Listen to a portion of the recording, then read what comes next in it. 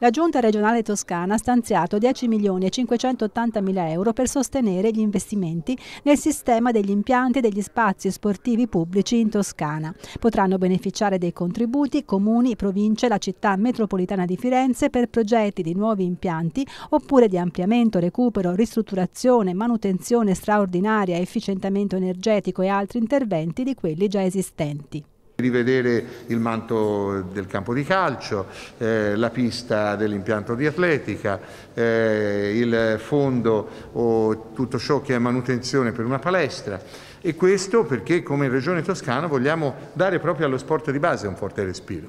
I progetti dovranno essere già cantierabili e il contributo massimo previsto è di 400 mila euro. I lavori dovranno iniziare entro il 2021 ed essere completati entro il novembre 2022.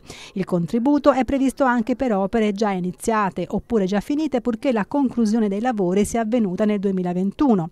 La Regione ha deciso di incrementare anche le risorse per i contributi diretti alle 10.500 100 società sportive toscane iscritte al CONI. Sono arrivate ad oggi 2.000 richieste. Eh, noi cerchiamo di promuovere in modo diffuso il territorio dello sport, che è qualcosa di molto significativo in una regione come la Toscana, lo abbiamo visto non solo per i risultati olimpici, ma lo abbiamo visto soprattutto perché proprio dalla Toscana lo sport di base, non solo il calcio, riceve una grande spinta.